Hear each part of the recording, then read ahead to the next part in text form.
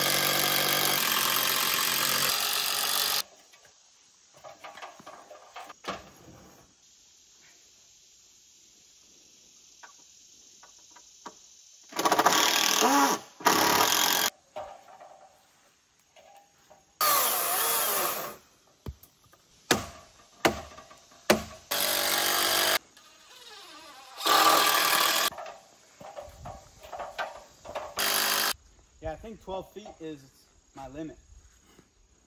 fair. I don't feel that comfortable. It looks pretty crazy.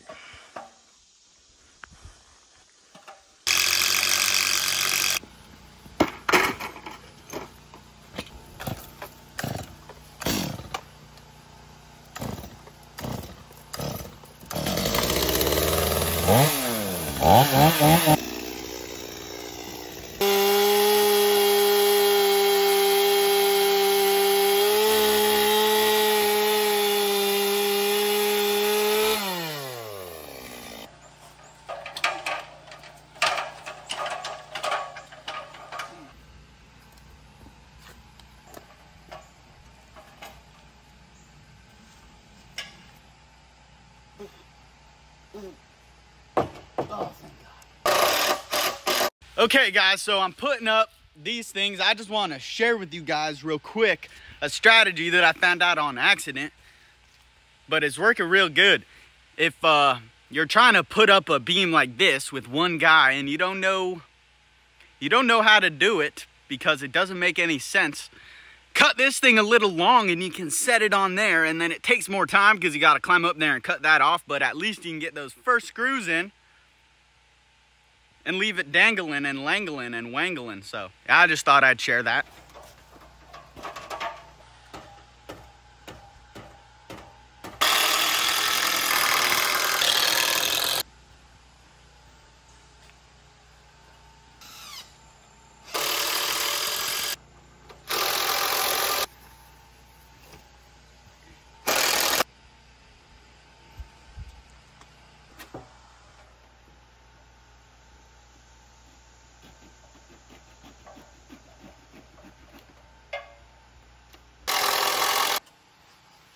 Sorry.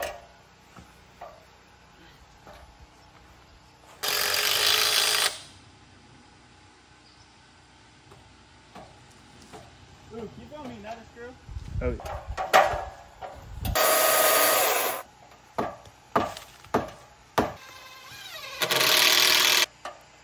Oh, I can't get it in there. Dude! That's crazy. It is kind of magical how all the other ones fit in perfectly. We haven't like measured one fucker. That is true. It's going, yeah, four inches. Slide in there perfect. Works out.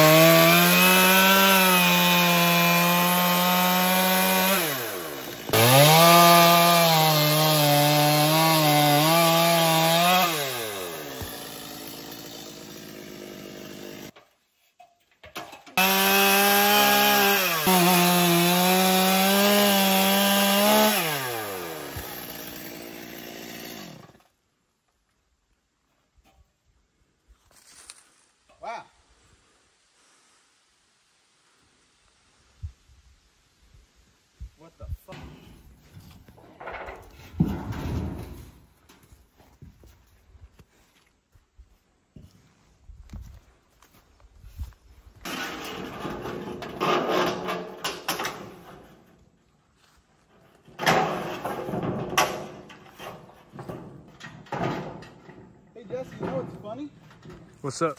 I accidentally did it perfectly. That's crazy. You don't gotta add shit.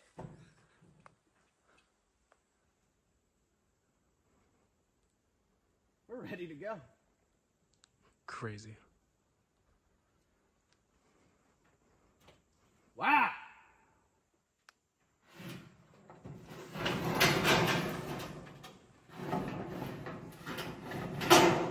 Can't believe we're doing it, dude. Pretty nuts. Pretty nuts, guy. Let's go grab seven more.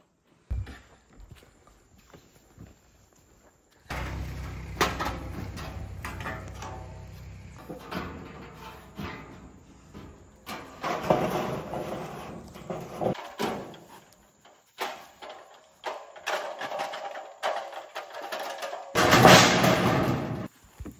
joke either. I was like, what the fuck? Fair, fair. Oh fuck! Ooh, that just kept going. yeah, buddy. What the fuck do I do now?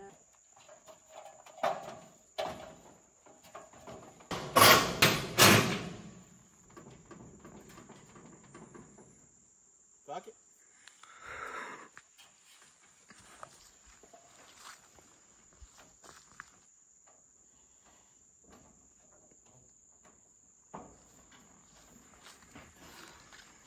I don't feel good. Fuck. No. No.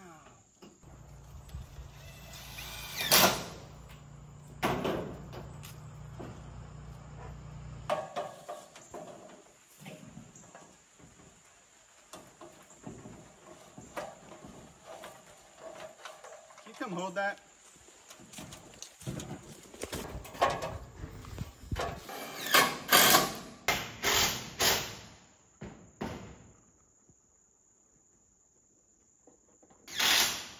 So that's where, uh, well, I actually did get footage, some footage, but uh, the roof is done. Now I climbed up there and got the other, other three sheets up there. Boom! Guys, I built it perfectly on accident. I didn't have to cut any metal at all, and it just fit up there perfectly. I, I actually don't understand how that happened, but it's pretty legit. Now, guys, it's not done. Uh, I just wanted to get it up there.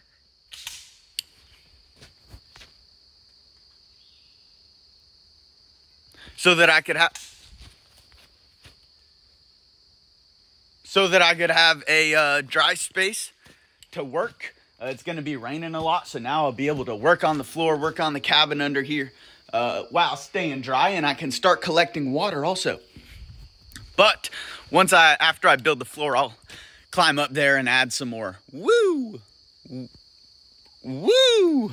And on the other side, get some more support in there and uh, should be good to go. Since I just screwed these into the side of the logs with no notch and no nothing, um, it's not gonna be too strong, but guys, eh, we don't get too much snow here. It is, it is uh, sloped a little bit. It's 12.4 on this side and 11.4 on this side. And the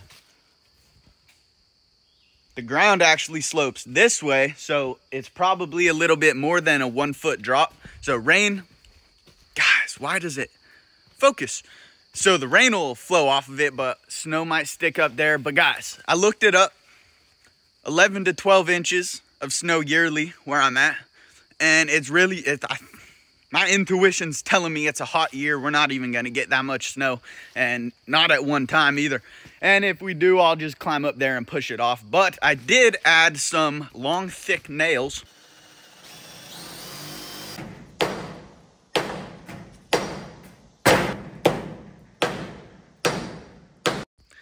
These bad boys. Eight inches long, pretty thick, and sent it through, bam, bam, all of the uh, connection points. So it's very, very strong, honestly. Is this how I would recommend doing it? No. No, I would uh I would maybe suggest building the floor first. I'd maybe suggest just getting lag bolts in there first thing instead of doing screws and then big nails. But for my unique situation, I wanted a roof up quick and uh, that was the fastest way for me to do it. And I think it should hold. Guys, I also got the rest of the concrete in the post holes. Uh, on a couple of them like here and there and over there it doesn't get all the way up. Uh, but this these get all the way up and I'm gonna be covering them with I'm gonna try to get clay and make little volcano around it kind of pushing water away. But I don't know. The main thing I have to do is just get a nice trench system somehow uh, diverting water away. I actually started stacking this dirt here because I was thinking of just building a wall. And I might just do that actually too, but I don't know. What would you guys do? This place does probably flood at some point, and I got these posts, and they're not set professionally at all. But uh, that's what I'm doing, and uh, now I need to figure out a way to help that. But now that we got the roof up, it should keep a lot of the water out, out of here, which is cool stuff. I do still have to go back and put water in there. Yeah, guys, there we go. Is, is the vision starting to visionize, guys? Do you guys see what I'm talking about? You can see the slope of the roof better from over here. So the ground slopes that way and I measured, or the ground slopes, wait a second. I'm gonna do some measuring again. But guys, I'm gonna have hopefully, and this is looking like a large bridge actually, but a bridge from over here to there. This will be the front patio. I'm just gonna do a patio, maybe a little fence around it. Um, and then this is where the cabin's gonna be. I'm gonna live in that six by six box. Have storage underneath there, kitchen under there, build a little floor, but it's gonna be open open, baby. What's up? I am to start on taking down that house over there and I'll be using materials from that to work on the, the house on stilts. I don't know what materials I'm to use, but uh, I'm to see what I get and it's to be super fun. We're to see. Honestly, guys, if, if you guys have any input I want to hear it, dude. I'm uh I got a lot of ideas and I don't know what to do. Should does a bridge even make sense? Should I even do a bridge? Uh should I actually try to make an elevator happen? Should I actually try to build stairs up to another treehouse in those trees and make a zip line going down off of it? Oh my God, should I actually try to pump water out from the creek and make like a stream around here or do anything cool like that, guys? Do you guys have any ideas um, that are Minecraft-like? cool ideas uh, that will make this a very cool, unique structure and homestead thingamajiggy. I'm thinking of doing ducks or chickens or both and rabbits. Uh, but yeah, no, that's actually probably smart. You, you guys think I should do that? it's tough because when you have a homestead, you're supposed to be there all the time uh, because there are things that happen and you got to be there. Uh, but I'm also going to be down at the house working a lot of the time. Um, and so it might be tricky. Maybe I could get a cool fenced in area over here where I leave the dogs also and the dogs can help protect the animals. That's probably smartest. I'm, I'm going to do that, I think. What do you guys think? Or would it be like the smart, responsible option to uh, have Jesse watch the animals while I'm down there working on the house. Because I could probably film it. Tripod. I really have to take down these two trees. My Wi-Fi has been horrible lately. It is obstructed and I believe these two trees are part of the obstruction. I also need them to help give my garden more sunlight. And I could use all of that wood. They're pretty straight. Lots of six foot straight sections, which I could definitely use for the floor and for the cabin and all that. And so I got to take these down, dude, but they're five feet from the power lines. So they stand right here. Forest is over here. Power lines go right there. I probably have to fall them back this way. Do I just, how do I get something up high to pull from the top? Do I need to get like a slingshot and slingshot a rock up there? And even if I can get a rock up there, dude, it has to be heavy enough rock to come back down. And even if it does come back down, how do I even tie it to the tree up there? I really need these trees down, but I really have no idea to do it, how to do it. Um, if it was my property, I'd probably just send it. But dude, I've never done anything like this and I feel like there's a real good chance I could accidentally hit the power lines. Yo, does anyone have any tips for me? I actually should talk to Nate again about this, uh, see what he thinks. I also am wondering if I got any professional tree fellers out here, tree, tree feller fellers out here uh, that would want to come uh, help me out a little bit. I just don't want to run the risk of like uh, messing up someone else's stuff. If I take out those power lines, who knows uh, what damage I will cause. It will be more than just damage to me. So I don't, I, little sketch about that one. Jesse has left on vacation. He's going up to Canada.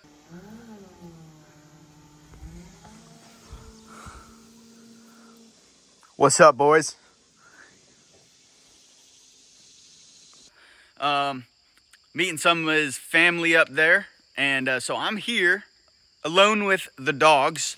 It's uh, a little bit scary. I've never actually uh, been out here in the woods alone with two dogs like this. I had Hooper back at the old spot and that was a little tough keeping track of a puppy dog and building and filming and editing and doing all the stuff, living life.